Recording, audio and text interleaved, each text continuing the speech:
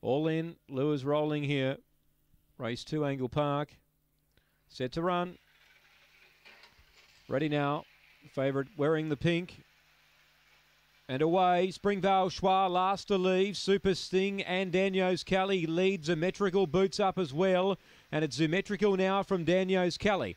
Stitch and Bear went to third. Fourth out, Super Sting. A gap to Springvale Schwa. And Get Up Jess last, Symmetrical and Daniels Kelly. They're sitting shots here. Super Sting the rail. White out, Stitch and Bear. Still Daniels Kelly. Daniels Kelly wins. Oh, great go the Miners.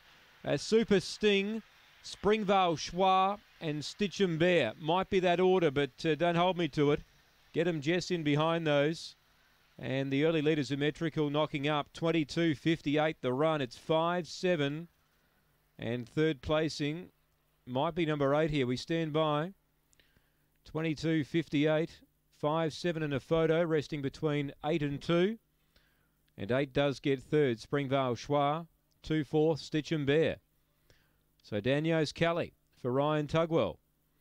Takes it out. Was up outside symmetrical. They raced nice and close. And as they swung the bend, Daniels Kelly got the better of symmetrical. And then Super Sting was getting through, and Springvale Schwa was starting to chime in late. And deepest of all was Stitch and Bear. Great finish, length and a quarter, the winning margin. Five, seven, eight, and two, a length and a quarter by half a head.